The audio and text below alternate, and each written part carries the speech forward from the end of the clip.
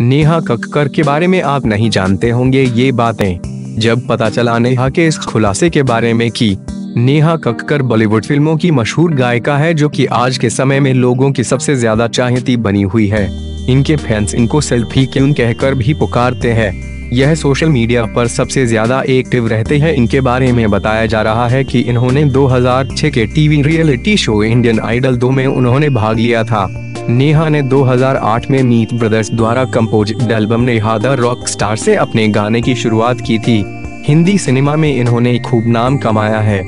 आज की यह सुपरस्टार सिंगर बन चुकी है। आज यह इतनी मशहूर हो चुकी है कि एक रियलिटी शो में जल्द भी बनी हुई है। इस सेल्फी के उनके अलग ही अपने अंदाज है, यह दिखने में बहुत ही खूबसूरत है।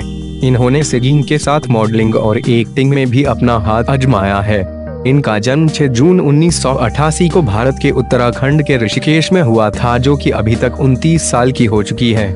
दिल्ली में इनकी पढ़ाई पूरी हुई है। इन्होंने अपनी 11 क्लास के दौरान ही रियलिटी शो में भाग लिया था। हिट पर हिट गाने देने वाली इस सिंगर का एक खुलासा सामने आया, जिसमें नेहा कक्कर के बारे में यह बातें बताई गई है, जो शायद पहले किसी ने नहीं सुनी होगी।